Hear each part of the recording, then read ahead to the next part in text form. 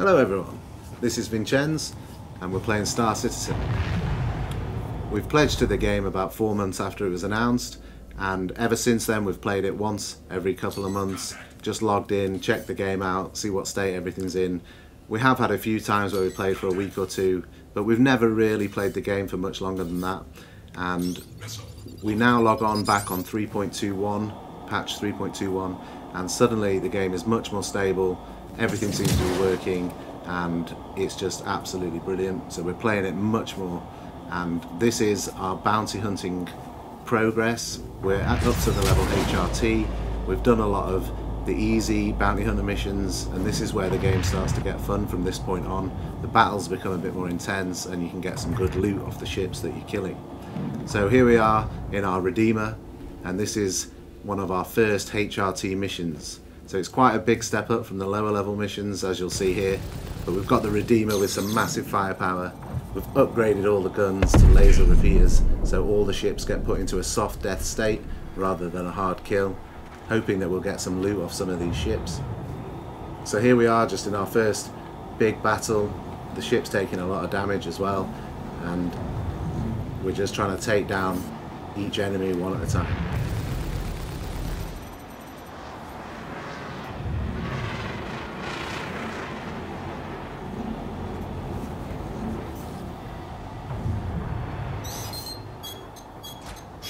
So we're using our decoys to get rid of the enemy missiles by pressing H and that keeps us in the fight without taking any big hits to our shields.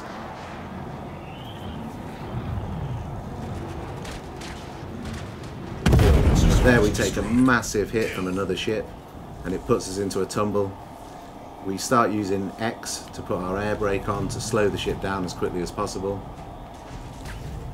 And luckily the ship survives. Now we think should we just get out of here and escape with our life? But we kind of got angry by that so we, we think no, we're going back in and we're going to carry on the fight.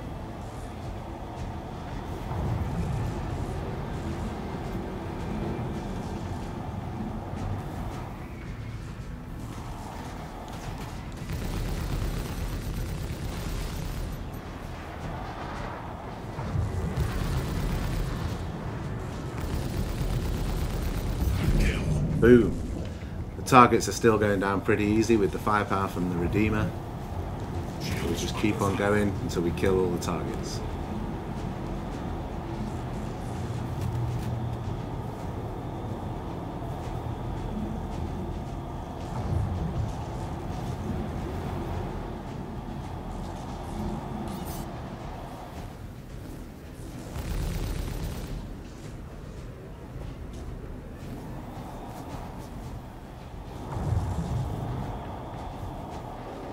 This is a bit of a mismatch. We've got the big Redeemer gunship against an Anvil Arrow, but as you can see here, he's much faster, more nimble, and it's hard to get a lock on him.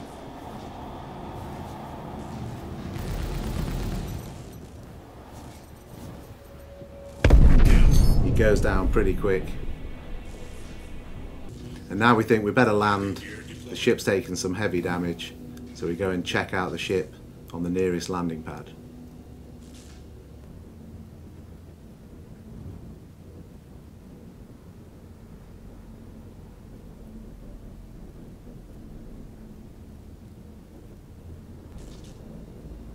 Systems are going down, everything's looking a bit funky in the ship.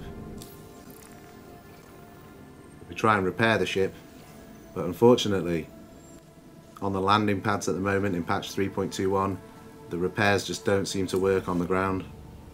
Engines offline.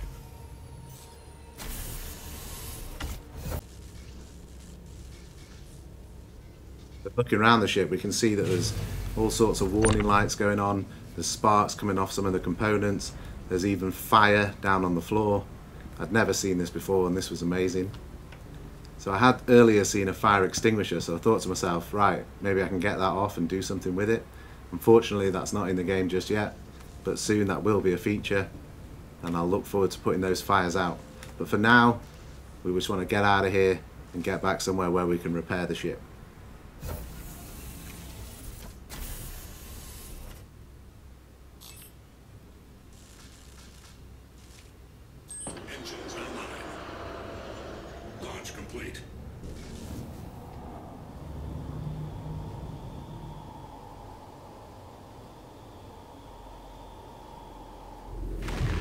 As we take off, we power up the ship and give it some throttle and we notice straight away that the ship is completely off balanced and it just won't fly in a straight line and every time I try and introduce power the ship just starts wobbling all over the place.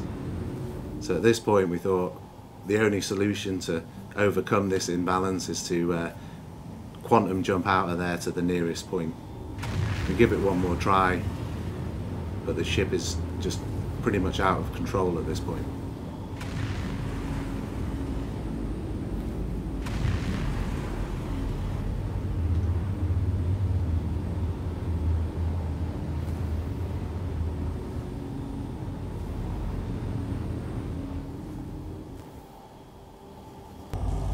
Get a lock on CRU-L1, which is the closest spaceport we can think of. And then we have the mission of trying to get close to the spaceport without being able to use too much throttle. So you can see on the left there, I've got my throttle set up near the red zone, and every time we go into it, it just won't fly straight at all. So we slow it right down, we eventually get to the uh, space station, and luckily Flying nice and slow, we managed to get it in there safely.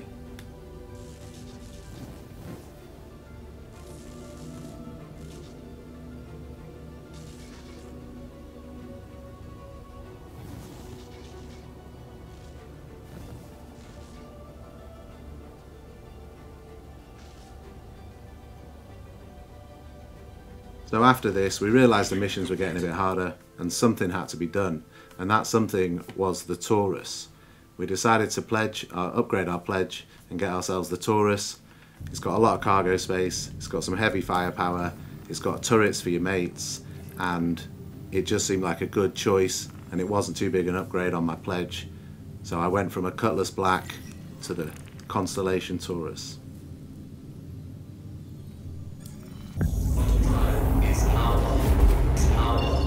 So we're coming up to our first HRT mission here with the Taurus flying through the asteroid field, we eventually lay eyes on the new targets. We get a bit closer, now the Taurus has got a shed load of missiles, so we just let a few off just to weaken the enemies a little bit before we get close, and then we go in and use the big guns.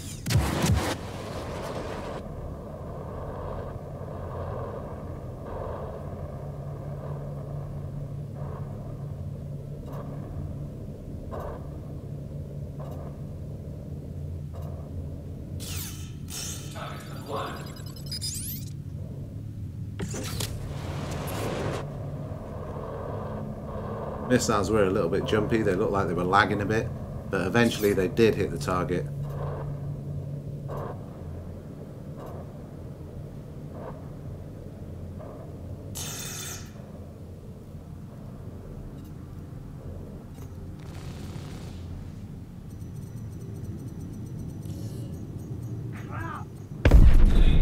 Boom.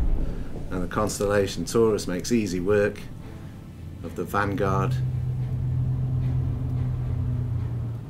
barely took any damage.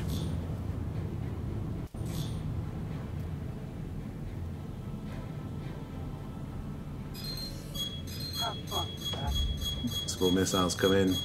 We let off our decoys with H and we managed to avoid all damage from them as well. There's missiles flying everywhere and eventually we get close enough to take on the Anvil Arrow. It's a bit of a mismatch, a massive Taurus against a tiny little ship, and within a few seconds, boom, it's dust.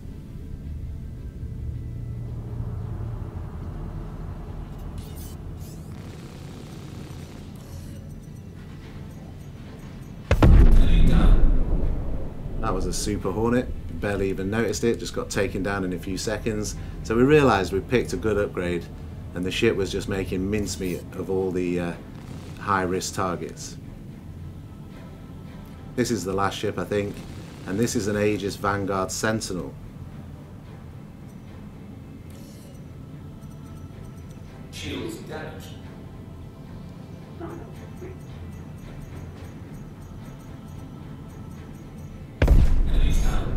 There you go, boom, it's over for him pretty quick as well. So we made the right choice with the Taurus.